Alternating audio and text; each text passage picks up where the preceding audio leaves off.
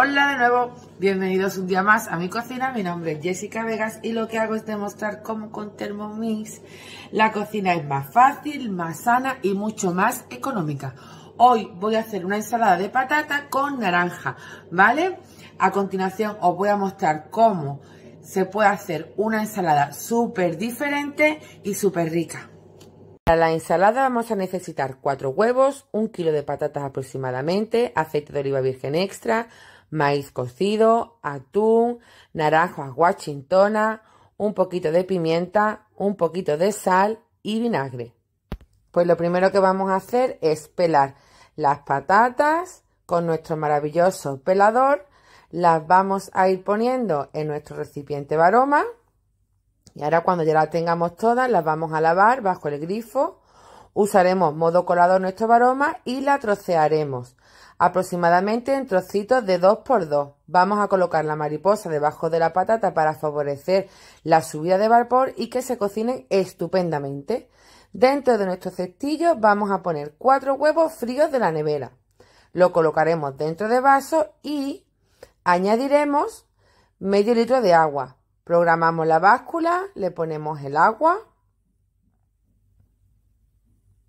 y ya cuando tengamos nuestra agua colocamos la tapadera, el recipiente baroma y lo vamos a programar 25 minutos, temperatura baroma, velocidad 4. Mientras que se cocinan las patatas y los huevos voy con un cuchillo de punta fina a pelar las naranjas. Una vez que estén peladas, las vamos a cortar en trozos de 2 centímetros. Podéis utilizar una tabla o cortarlo con un cuchillo de sierra a mano como voy a hacer yo, ya dependiendo de la maña que tengamos cada uno.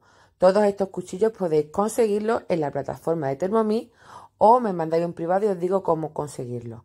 Cebolla la vamos a pelar y la vamos a cortar en juliana. Se me ha olvidado antes los ingredientes deciros que vamos a utilizar cebolla, pero bueno, os lo digo ahora, no importa. La cortamos en juliana, lo vamos removiendo, le añadimos el maíz y el atún, ¿vale? Y lo vamos a mover con nuestra espátula. Así adelantamos trabajo para cuando todo esté listo. Pasado el tiempo, retiramos el recipiente baroma. Con la muesca de la espátula extraemos el cestillo y buscamos los huevos en agua con hielo. Verificamos que las patatas están cocidas y las dejamos enfriar. Mientras tanto vamos a pelar los huevos. Como veis se pelan muy fácil ya que al meterlos en agua con hielo hemos cortado la cocción. Así se desprende la cáscara de la piel del huevo y es mucho más fácil pelarlo. No hay que hacer apenas esfuerzo. Una vez que ya lo tengamos pelado, lo vamos a cortar en cuartos a lo largo. Esto también depende de los gustos de cada uno, ¿vale? Así es como lo hago en casa. Lo mezclo, espero a que las patatas estén frías. Como me ha sobrado bastante, voy a hacer dos. Uno para casa y otro para enviar a un familiar. Volcamos las patatas, los movemos y ahora vamos a pasar a alinearlo con pimienta, con sal, con vinagre y con aceite de oliva. Las cantidades también dependerán de vuestros gustos, ¿de acuerdo?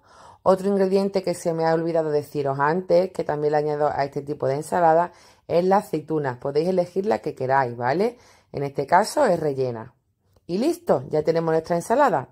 Muchas gracias por estar un día más conmigo. La próxima más y mejor. Y no olvides que puedes obtener tu Thermomix gratis. Si a mí me cambió la vida, ¿por qué a ti no? Consúltame si quieres conseguir la tuya gratis. Gracias por estar ahí.